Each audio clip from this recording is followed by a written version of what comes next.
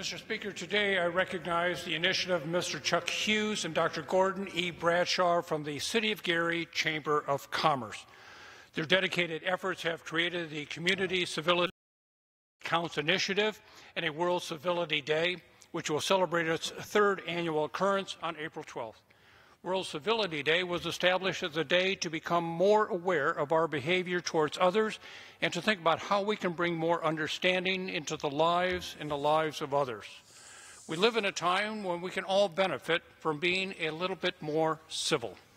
We live in a time when a kind gesture can have a great consequence for creating a just and tolerant society.